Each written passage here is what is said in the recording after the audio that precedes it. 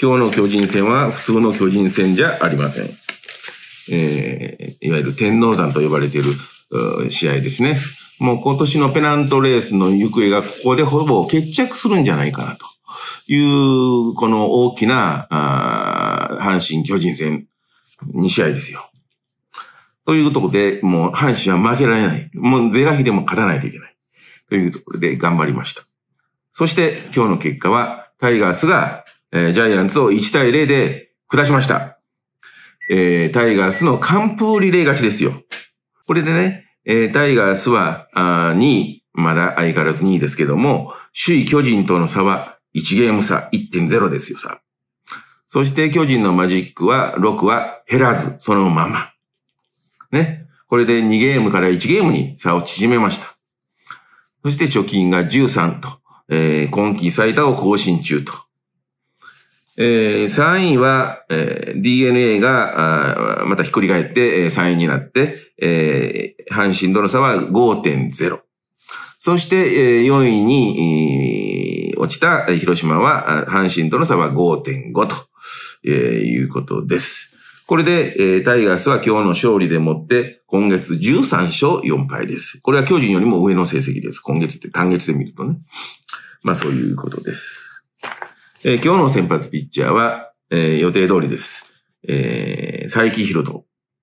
今シーズン23回先発して、えー、12勝3敗。防御率1.69。対巨人戦は、えー、7度先発して3勝1敗。防御率2.27というところで、まあ、巨人戦の方が打たれとるなというところです。最近の場合はね、えー、直近では9月の14日、あちょっともう間が空いてますけど、広島戦で6回を投げて、えー、失点が3で勝ち負けつかず。そのもう一つ前は9月の7日、ヤクルト戦で勝利投手になってます。この時は6回を投げて無失点というところでした。ちょっとずつこう、佐伯がね、あの、良かった時を比べると、あの、ちょっと追ってきてんねんな。だからちょっと心配やなっていう感じですね。それと、まあ、昨日もちょっと言ったかもわかりませんけども、えー、佐伯のフォークボールがな、ちょっとキレが悪くなっててね、それが心配やと。まあまあ、そう、そういうことです。そして、えー、ジャイアンツの先発は、えー、菅野智之。もう菅野復活やね。エース復活って感じやな。えー、今季22試合の先発で14勝2敗。素晴らしい。防御率1.73。対阪神戦の成績は4試合先発で投げて1勝0敗。防御率0.98。防御率0.98で4度選抜しててなんで1点、1勝しかできへんのって聞きたいな。これは巨人打線がよう打たんから勝ち越せてないんや。菅野が投げてる時に。そういうことで、結局、勝ちが少ないんやな、阪神戦でのな。えー、菅野投手の直近は9月15日に先発、中日戦で先発してます。5回3分の2を投げて3失点。あこの時良くなかったよな。勝ち負けつかず。えー、もう一つ前は9月の10日、中5日で投げてるからか。えー、勝ち投手になってます。広島戦で5回投げて無失点というところです。まあ、あの、阪神戦は過去防御率0.98やったかな。ということで、まあ、甲子園での投球っていうのはすごいいい内容やから、なかなかもう菅野は点が取れない。もう、そのやる前から分かってる。点与えたら負けるよ、というような感じで見てたんですよ。で、結局は、えー、タイガースが1点を3回に取って、その1点だけですよ、両チームで入ったのは。で、あと全部ゼロと。で、終わってくれたからよかったなと。こういう試合ですよね。えー、今日の勝因を挙げたいと思います。今日の勝因は2つ。先発、佐伯が、まあ、7回を投げて無失点だったんですけども、その佐伯からのゲラ岩崎と無失点リレーを完成させたこと。これが勝因の第一です。それはそう相手に点を与えへんねんから負けるわけがない。これがもう第一ですよ。佐伯の投球内容もここで言っときますね。えー、7回を投げて95球、球数は少ない方です、これは。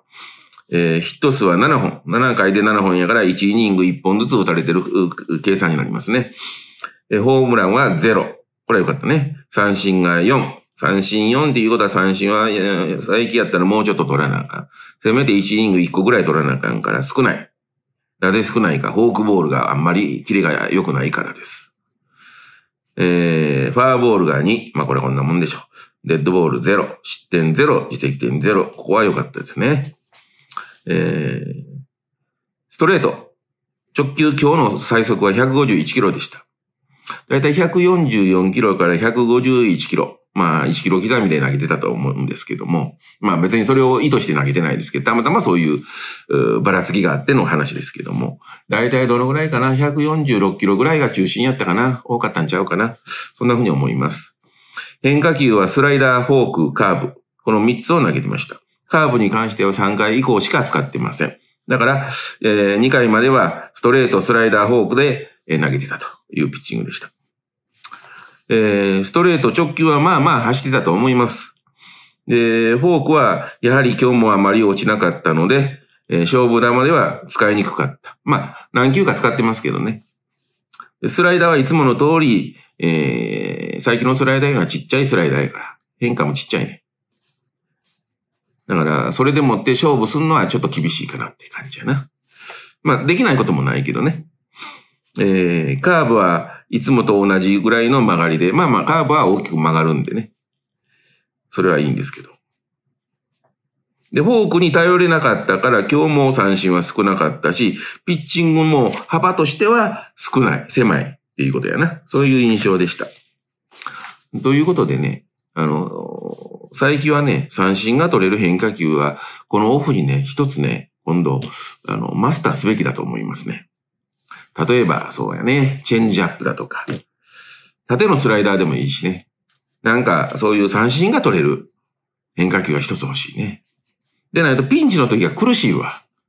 今日はピンチの時はまっすぐに頼って、それがね、あの、うまくいったからよかったけども。今日は坂本、坂本、あの、ジャイアンツの坂本君にだいぶ助けてもうたで。ことごとく、チャンスで回ってきて、ことごとくアウトになってくれたからな。8回はゲラ、9回は岩崎。この二人とも三者凡退やね誰も塁に出してへんね完璧やねリリーフが。というところ、これがもう勝因の最大の理由ですよ。そして二つ目の勝因の勝因です。これはもう、やっぱり点取らんかったら勝たれへんから点取った場面ですよ。ズバリ中野が3回に先制タイムリーを打った。これですよ。それしかなかったけど。これしかない。3回裏、ツーアウト1塁3塁で、えー、2番の中野が、ライト前にヒット、ええヒットを打つんやけども、まあこれある程度粘ったからね、6球目ぐらいだと思うわ。で、最後、あの、菅野がちょっと嫉妬してしまったんやな。低めに投げたかったスライダーが真ん中高めに来た。で、それを見逃さずに綺麗にライト前にパーンって打ったよ。ええヒットやったわ。あれ、打たれた瞬間、しまったと思ったやろな、菅野は。低めに行ってたらアウトにできたと思うけどね。まあ、その辺が、あの、勝負のあややな。というところで、えー、勝因のには中野のタイムリーヒットでした。なんか、阪神ピンチばっかりやったっていう感じがするけどな。まあ、あの、この試合を通じてみると、なんか守ってばっかりでな、常に、常に攻められてるっていう感じやったな。攻めてる場面は、阪神は、阪神の得点圏のチャンスは唯一3回だけやったからな。あ、い、その、2イニングで言うとその1イニングだけしか攻めてないね、阪神は。あの、得点圏にはな。出ても一塁やね。出て一塁、一塁ぐらいだったら大して、あの、攻めてる感じせえへんし、あの、相手チームも、まあ、お互いさ、たま、あの、そうなんやけど、こっちも一塁だけやったらまだ、ピンチはあんまないから。そんな感じで。えー、っとね、えー、まあ、勝因はそうなんですけども、今日はポイントとなったあ場面があるんで、そこを紹介したいと思います。えー、それはまあ巨人のチャンスの場面を言うことになるんですけども、その中でも代表的な部分だけね。これはまずね、あの、勝因には挙げてなかったけども、うん、ここも勝因には大きく関わってくるところで。まず立ち上がりの1回よ。1回佐伯が丸にいきなりライト、ライト線に二塁打打たれて。これ言いたかったよ。ノーアウト二塁やんか。ほんでこれ浅野のところでバントされねえな。あ、その多分あんまりバント慣れてへんはずやねん高校時代でも。打つバッターやから。まあでも高校の時はやってると思うねんな。まあプロでもやらしてるとは思うねんけども、これがあかんかって。もうピッチャー前のゴロがピッチャーゴロみたいになってしまって。で、結局ダブルプレイで、あの、一塁、あの、せっかく、あ、ダブルプレイちゃう。まあ、ダブルプレイか。ダブルプレイで、ね結局二塁ランナーを三塁に進める番でやったんやけども、三塁がアウトなんだよ。な、ピッチャー佐伯はすぐに三塁を振ったから。で、十分もう余裕でアウトよ。ほんで、丸が、あの、三塁と二塁の間に挟まれてタッチされてアウトで、そのまま、一塁、あの、浅野が二塁まで来たわけや。で、先にボールが返ってきたから、二塁でタッチアウトや、浅野。で、ダブルプレイやと。この場面よ。これ、浅野に普通に打たした方がよかったで。今、浅野乗ってるやん。このチャンスで割と強そうやんか。これ、普通に打たされてたらなんか嫌やったわ。ね、なんか不慣れなことやってるな、いうふうに見えたやんか。浅野に、あ、バンドしてるわ。なんとなくぎこちないな、思って見てたらやん。ほら、やっぱり失敗しよったからな。これ、安倍の失敗やな。ここが一つね、ポイントとしてはね。これもし、うんあの、浅野が打たしてた、打ってたら、点入ってた可能性あるね。これ助かった、阪神側からすると。もう一個。もう最大の場面ですね。これはもう皆さん分かってるところだと思いますけど、6回の表の巨人の攻撃や。これ結局ノーアウト満塁まで行くからね。うんこれ。うん、これは浅野から始まんねん、この回な。うん浅野が、えー外角のストレートを打って、左中間に二塁打や。もう打つんやんか。打たしたらええやん。でも2割4分くらいしか打ってないからな。そんな打てへんねんで。でもなんかチャンスで打ちそうな感じあるやん。前側と一緒で、なんかチャンスで打ちそうやん。で、ノーアウト二塁やんか。その後、ノーアウトで二塁で、あの、巨人の一番ええとこや。3番吉川、4番岡本、5番長野、6番坂本や。これ一番ええとこやねん。だから、あのーまあ、佐伯も梅野も阪神バッテリーは、やっぱ警戒、警戒した。ほんで結局ファーボールが吉川にファーボールを与えて、これ3-2からでフルカウントになってんねんで。逃げてないん逃げてないんやけども、やっぱり警戒して、際どいとこ狙いすぎたよな。で、ファーボール。岡本も3-2や。フルカウントや。からファーボールになってしまった。この二つのファーボールでの満塁のはタイガーさんめちゃくちゃ痛かった。なんでか言うたら、浅野の最悪やで。浅野がのヒット二塁打。この後ヒット打たれて1点が入っても1点で済むやんか。と、これ、これ、ファーボール2つでして満塁したこれ1点で済むやん。これ逆転やねん、もう。ここめちゃくちゃ痛かったこのファーボール2つが。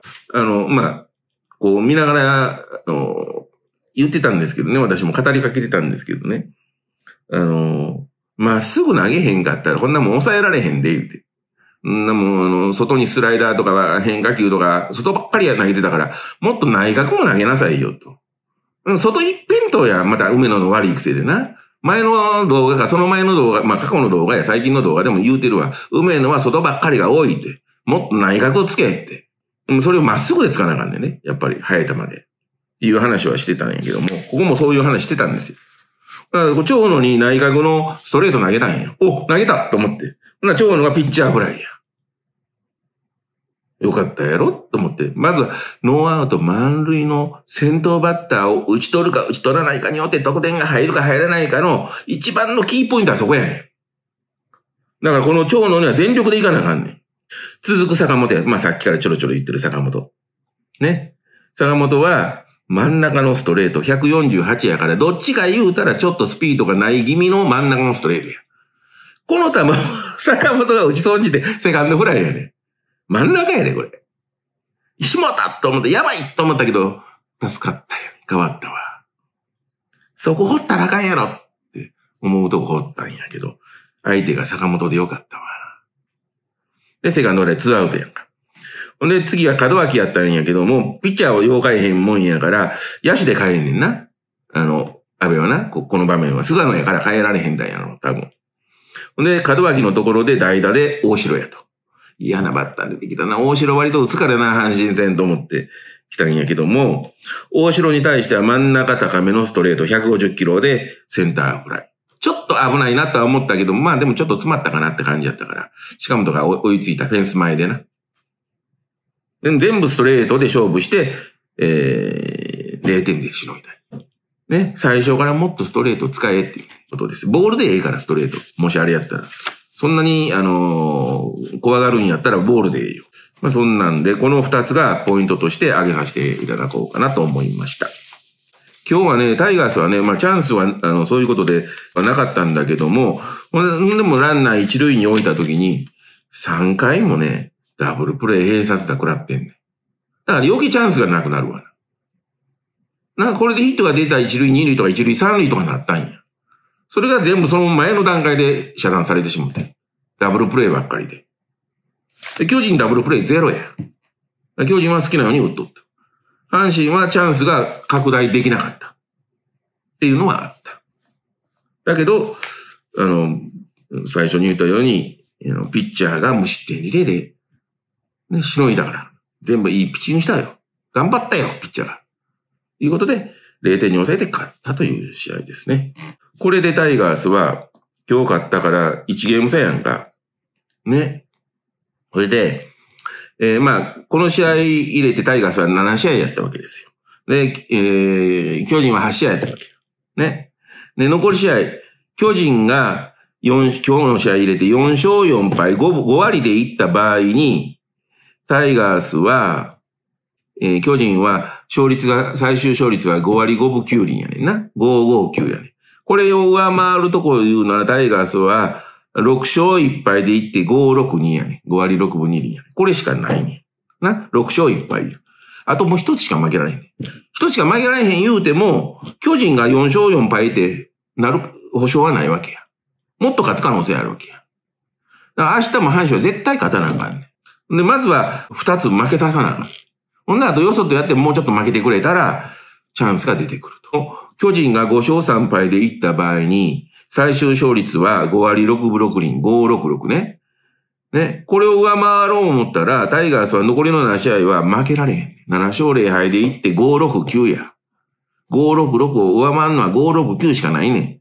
ということは7勝0敗やねん。5勝3敗でいった場合やで。で、巨人がもし6勝2敗で残りいったら、例えば、この、えー、阪神戦2つ負けて、あと残りは6つ全部勝ったよって言ったらもう、阪神は何も全部勝っても追いつけませんね。という状況やから、とにかく阪神はもう一つでも負けたらあかんよと。明日も勝たなあかんよという状態が、えー、続いていくわけです。というところで、えー、明日は、えー、高橋春人。そして、えー、ジャイアンツはグリフィン、左ピッチャーやけども、ハルトが抑えてくれたら勝てると思うよ。まあ、ハルトの行動を期待して、今日はここで終わりたいなと思います。以上です。